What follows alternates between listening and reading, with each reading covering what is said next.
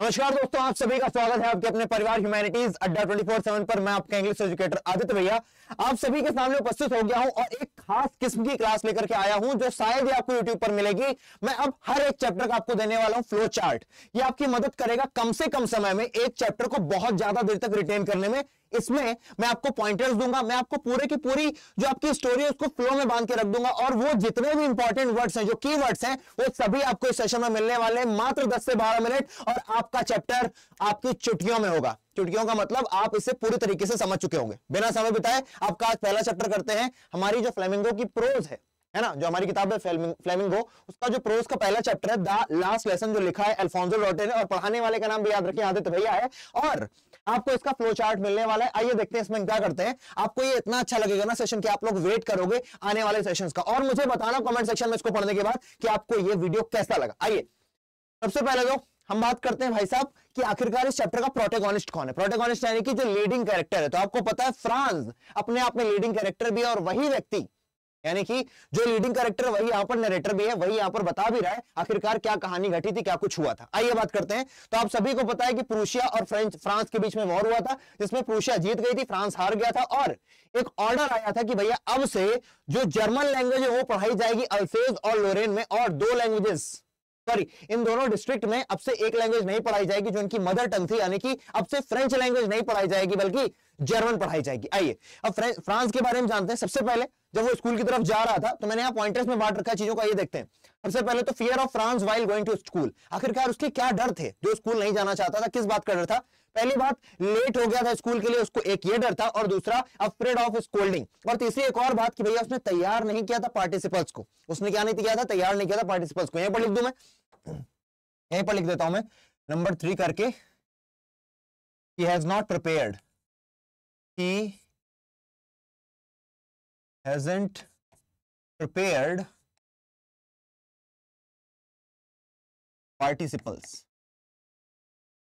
participles ठीक है ना एक आधे पॉइंट में जानबूझ करके छोड़ देता हूँ ताकि आपके सामने लिख सकूँ। उसके बाद देख लेते हैं, दूसरा क्या बात करेंगे हम? प्लान्स ऑफ़ फ्रेंड्स आखिरकार उसके दिमाग में क्या प्लान हो रहे थे यार, चलो स्कूल नहीं जाते, क्या करते हैं? उसके दिमाग में चल रहा था थॉट ऑफ़ रनिंग अवे कि भैया यहाँ से भाग जाते हैं and spending day outside because the day was bright and warm ये सारे के सारे पॉइंटर्स है भाई साहब कि आपको लिखना है वहाँ पर जाकर क्योंकि दिन जो था सुहावना था ब्राइट था, इसलिए उसको मन किया कि चलो भाग जाते हैं। दूसरा इंजॉयड बर्ड चर्पिंग जो चिड़ियों की चहचहाट थी ना, चू चू चू चू, उसको एंजॉय कर रहा था, उसका मन कर रहा था स्कूल नहीं जाते यार, ये सब देख करके रहते हैं। तीसरा temptation to watch drilling of Prussian soldiers temptation उसका मन कर रहा था यार, चलो, इनकी जो लेफ़्ट राइट लेफ़्ट ये लोग जो कर रहे हैं ना, अपनी ड्रिल उसको देख लेते हैं। लेकिन लास्ट में क्या किया उसने? Overcame temptation and refuse to school and rush to school यानी कि दौड़ता हुआ फिर अपने स्कूल की तरफ़ गया। ये आपका इतने मैसेज आने, कितने माने आपके क्वेश्चन के आंसर दे दिए आप लोग अगर अच्छे बच्चे होंगे अपनी शुरुआत से पढ़ाई की होगी ना तो आप इसका बहुत अच्छा यूज़ करेंगे और बहुत ज़्यादा आपको एक्स्ट्रा एज मिल जाएगी नॉर्मल बच्चों से जिसने इस सेशन को नहीं देखा होगा। आइए, आगे बढ़ते।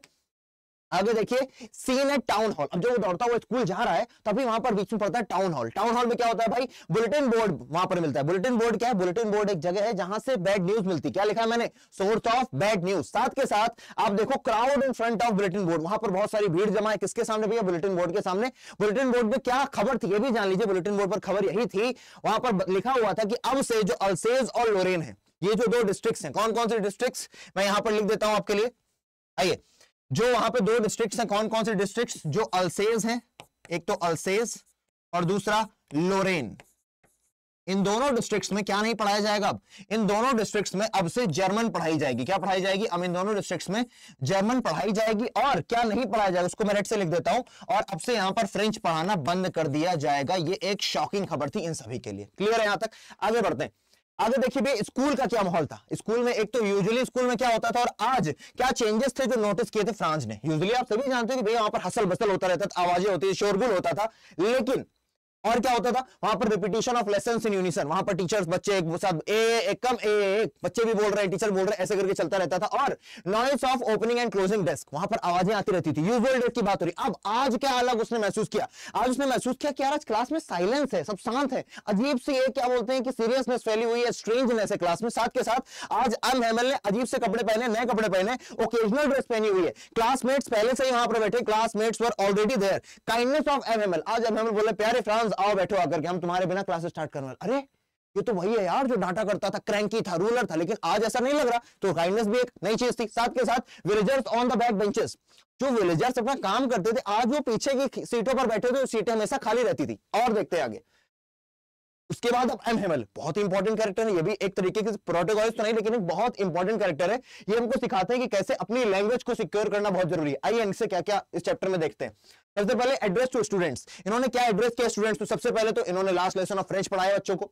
है ना? इनका लास्ट लेसन होने वाला था फ्रेंच का, इसके बाद ये नहीं पढ़ाएँगे, चले जाएँगे। अगले दिन कौन आएगा? जर्मन का टीचर आएगा। इंपॉर्टेंस ऑफ़ मदर टंग इन्होंने बताया बच्चों को कि क्या इंपॉर्टेंस है मदर टंग की।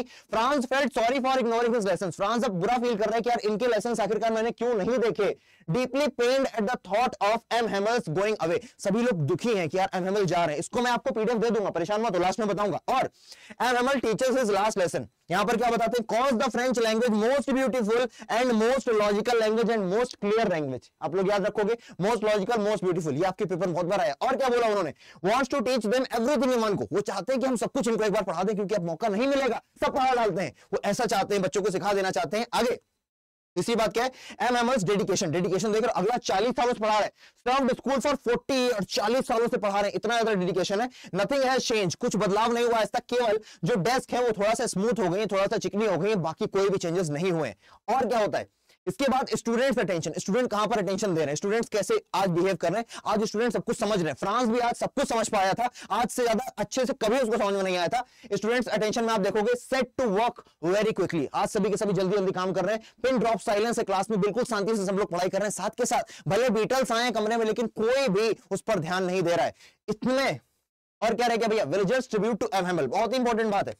भैया विलेजर्स ने क्या ट्रिब्यूट दिया है? एमएमएल को। ये ट्रिब्यूट दिया है कि वो लोग gathered in back benches of class वो सबके सब आ गए बैक बेंचेस बैठने। आखिरकार इतने सालों से जो व्यक्ति पढ़ा रहा है और ये लोग बुरा भी फील कर रहे हैं क्योंकि देखो रिमोर्स रिमोर्स का मतलब क्या होता है? पछतावा। पछतावा फील कर रहे हैं कि इन्होंने पहले क्लासेस अटेंड नहीं की इन्होंने अपनी कभी मदर टंग मदर टंग को, अपनी मदर लैंग्वेज को कभी उस सीरियसनेस के साथ नहीं लिया। आज इनको बुरा लग रहा है। साथ के साथ thank teacher for forty year service और उनको थैंक कर रहे हैं कि आपने चालीस सालों तक पढ़ाया। साथ के साथ फीलिंग इमोशनल एंड सैड और कैसा फील कर रहे हैं? इमोशनल और सैड फील कर रहे हैं।